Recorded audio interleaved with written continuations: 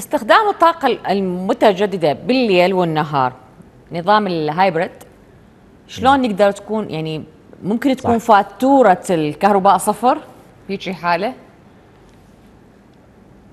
أنا أشكرك على هذا الوعي العالي لل لعمل المنظومات الشمسية. نعم. طبعا المنظومة الشمسية يعني حتى للمواطن نشرحها على مود يكون تصور. اولا هي مو على الحرارة يعني الحر يأثر عليها. ثانيا اليوم فرق العراق عن باقي الدول. فرق العراق عن باقي الدول يعني مثلا في الأردن أو دبي أو أو تركيا أو م. أوروبا بشكل عام الكهرباء مستقرة.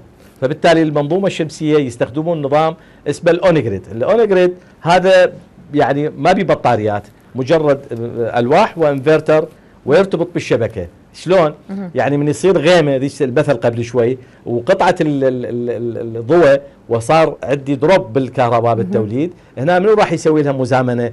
راح تسوي لها الوطنية الكهرباء الوطنية نعم. تسوي المزامنة. لكن إذا الكهرباء الوطنية مقطوعة منو اللي يسوي المزامنة؟ البطاريات أو المولد. هنا اختلف الموضوع الحالة العراقية أنه حكم أن نروح باتجاه ال hybrid أو ال off-grid طبعا ال off-grid هو اللي غير مرتبط بالشبكة وهذا إحنا ما نشجع عليه لأنه عندما تكون آه، البطاريات مشحونة وال grid موجود راح نخسر التوليد بالطاقة الشمسية ويكون هو على استخدامات محدودة. ال hybrid هذا بعملية يعني تصدير الفائض إلى الشبكة، طبعا بالمناسبة حتى لا يؤخذ عليه تصدير الفائض وهنا يجون يجون الصقور اللي يتكلمون إنه الشبكة راح توقع، هو من عنده 3 كيلو 5 كيلو واط هو راح يستهلك للاستهلاك الذاتي راح يستهلك لأربعة يجوز يصدر كيلو واط أو ما يصدر. فبالتالي تصدير بسيط راح يكون لكن هذا التصدير هو يعطي كفاءة للشبكة ويعطي كفاءة أيضا للمستهلك. دول كثيرة من دول العالم تستخدم هذه المنظومات بالسيطرة على الأحمال داخل داخل الشبكة. نعم. وبالتالي هنا أنا عندي الهايبريد لما بالنهار كله هو دا يشتغل شمسي على الطاقة الشمسية. طبعا دائما إحنا نشجع إنه لما يكون الإنفرتر القدرة مالته 5 كيلو واط نخليه له 6 كيلو واط والآن أكو أجهزة جديدة راح تصل إلى ال 10 كيلو واط شمسي.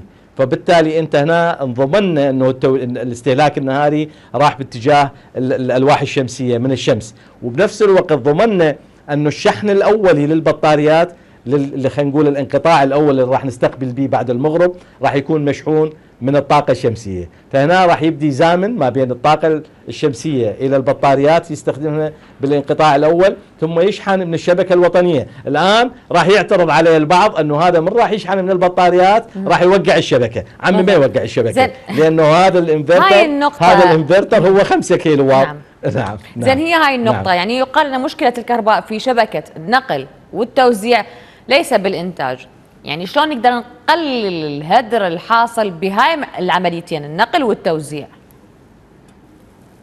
هو الطاقة الشمسية راح راح تقضي على هذا الهدر من ناحية إنه أني وفرت في في نقاط اللي عنده منظومة شمسية، لكن هذا الهدر هذه ملاحظة جدا مهمة، يعني تقولوا لي أزمة الكهرباء سببها إدارة الكهرباء. طبعا عندنا أزمة إدارة. تقول لي الفساد؟ أقول لك نعم عندنا فساد.